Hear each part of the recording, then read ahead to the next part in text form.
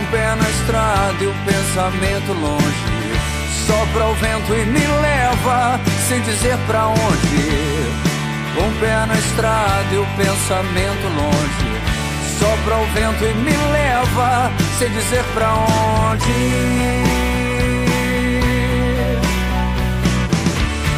Deixa a porta aberta. Eu não vou demorar. Sei que não estou perdido. É que o meu destino sempre muda de lugar. Olá, amigos e irmãos motociclistas. É, hoje é o dia 1 de janeiro de 2021 e amanhã nós teremos um grande desafio que é o Iron Bolt Paraíba. Estou é, aqui na casa do meu brother Israel, tomando aquele cafezinho esperto, não é?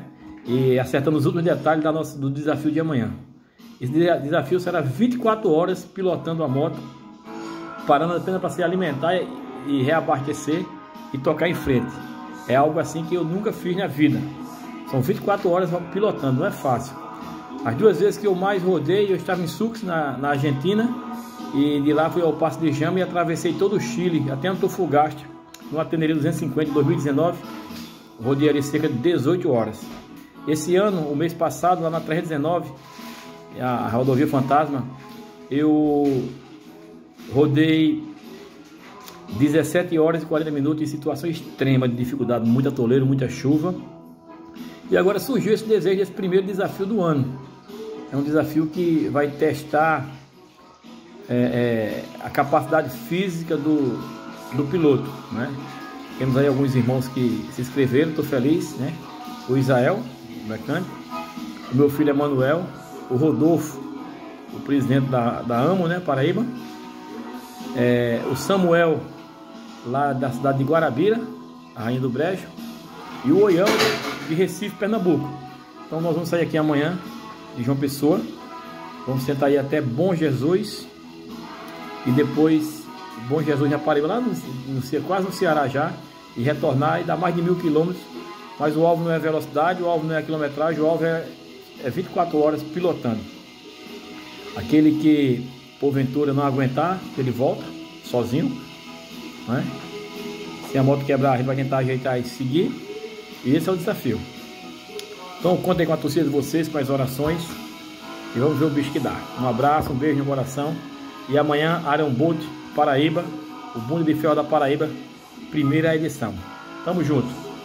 Olá amigos e irmãos né, do OFM Opinião Fé e Moto, Pastor Rubem, preparação aqui para o Iron Boat, hoje é edição dia 2, ainda não consegui dormir, só dormi até a tarde, estou é, aqui na minha garagem, preparando aqui a braba para a viagem logo mais, então vou mostrar alguns itens que eu vou levar, né, vou inclusive pegar aqui uma, uma câmera de ar de reserva aqui, para os meus amigos. Tem duas, duas tenerês conosco. Eu vou levar uma câmara de ar reserva de tenerê para ajudar a turma. Então vou estar mostrando para você com os itens, os itens que eu vou levar, é, que eu vou levar nessa viagem, essa viagem de 24 horas sem descanso, apenas para se alimentar e reabastecer a moto.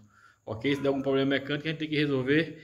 E se alguém desistir, tem que voltar. Vou estar mostrando para vocês. Vamos aí, seguindo aí, ok? Estava falando, é, na minha pop eu coloquei aqui, ó. Isso é um aceleradorzinho automático, né? Esse outro é aquele descanso de punho, ó. Que você, porque eu tô com problema nos dedos, desde a 319 fiquei com problema nos dedos, né? Então eu vou levar assim de ferramenta, tipo ferramenta. Eu vou levar é, um martelo, né? Vou levar essas duas espátulas aqui para caso o pneu fure a gente conserte. Duas câmeras de ar de pop, né? Vou levar uma câmera de ar de tenerê para ajudar meus amigos, um pedaço de trapo. Vou levar, isso aqui é óleo 140 para mim lubrificar a corrente, pelo menos a cada 500 km. Vou levar um, um, reparador de pneus, caso fure de algum amigo no caminho, ou meu mesmo, mas vou levar uma bombazinha manual de bicicleta. Então esses serão os vídeos que nós vamos levar. Sim, e vou levar meu banco reserva, né? Meu banco estilo aqui, ó, já tá, o outro tá pronto aqui. E aquele ali é uma cama de ar nova reserva que a gente vai levar, ok? Daqui a pouco eu vou mostrar mais coisas para vocês. Vou levar o óculos, uma bola crava, o blusão, um tênis, uma calça, uma calça comprida e um capacetezinho e tamo junto. Incluindo aqui a nossa nossa preparação, né? A roupa que a gente vai levar para essa viagem todinha de 24 horas é apenas um tênis com um meião. Aí você pode perguntar, mas por que o meião? Porque o meião ele vai ficar lá acima da canela, lá em cima, quando a calça levantar, não tem perigo de bater pedra, aquelas coisas, machucar a sua canela, como e foi isso que eu usei lá na Três Amazônica.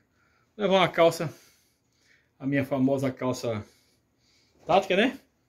Apenas uma camiseta UV e essa é a roupa, né? E a luva, casaco, um casaco também. Aí vamos levar algumas coisas aqui para gente, para alimentação rápida, né? Água gelada, algumas frutas, né?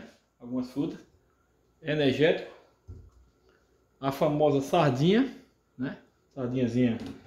Inclusive aqui, ó, ainda tem uma sardinha lá que minha cunhada me deu lá em Brasília na viagem da Transamazônica. Essa sardinha aqui é com pimenta, é um negócio sensacional. Vamos levar algumas frutas, chegar amanhã como pão e vamos tocar a bola para frente, ok? Então fica aí é, essas dicas para vocês. Espero que tenham que, que aproveitem, que gostem e também possa promover expedições dessa mesma monta ou bem melhor, ok?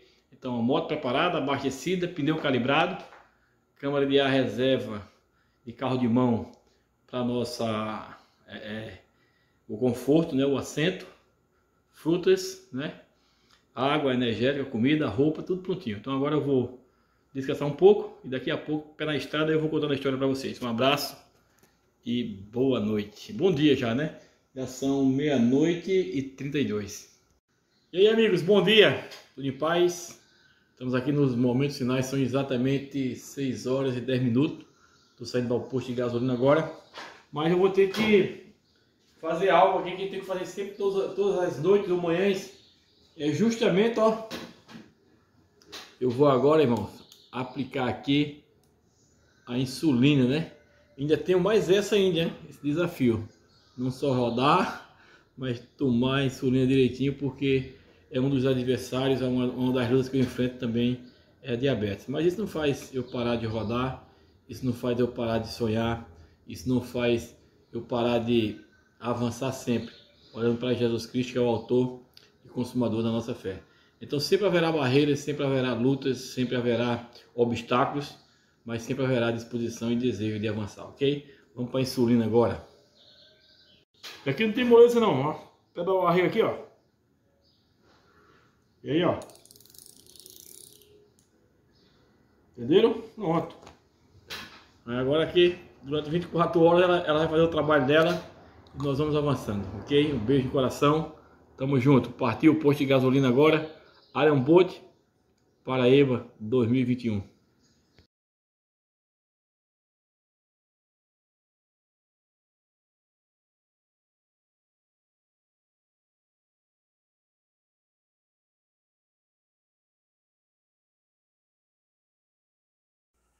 Olá, amigos e irmãos do canal FM Opinião Fé e Moto. Eu sou o pastor Rubem e estou aqui para agradecer a Deus, agradecer a vocês aí e agradecer principalmente a cinco caras que são homens de ferro para mim. É o Everton, lá de Guarabira, na sua Pop 110, o Isael Barros, né, na sua Tenerê 250, o Emanuel Macedo, meu filho, na, e, também na sua Tenerê 250, né?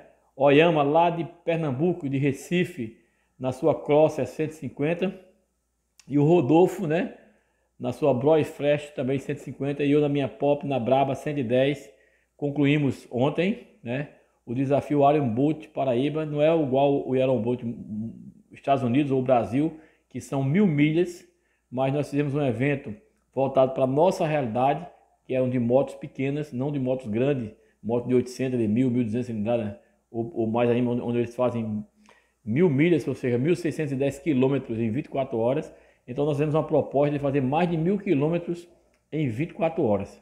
E foi um sucesso, deu certo, é, não quebrou nenhuma moto, não houve nenhum perrengue, não houve nem é, é, algo contrário. Foi muito bom, companheirismo e unidade. E o ano que vem, se Deus permitir, teremos a segunda edição. Então assista aí, compartilhe, deixe o seu like e vamos avançar. Temos alguns vídeos, algumas fotos nesse momento de 24 horas na estrada, começando de 7 da manhã aqui em João Pessoa, indo até o Ceará, ao quilômetro zero da BR-230, voltando para a cidade de Bom Jesus e de lá retornando para a capital. Deus abençoe e assiste aí o nosso vídeo. Um abraço. O pé na estrada e o pensamento longe. Sopra o vento e me leva sem dizer onde. O pé na estrada e o pensamento.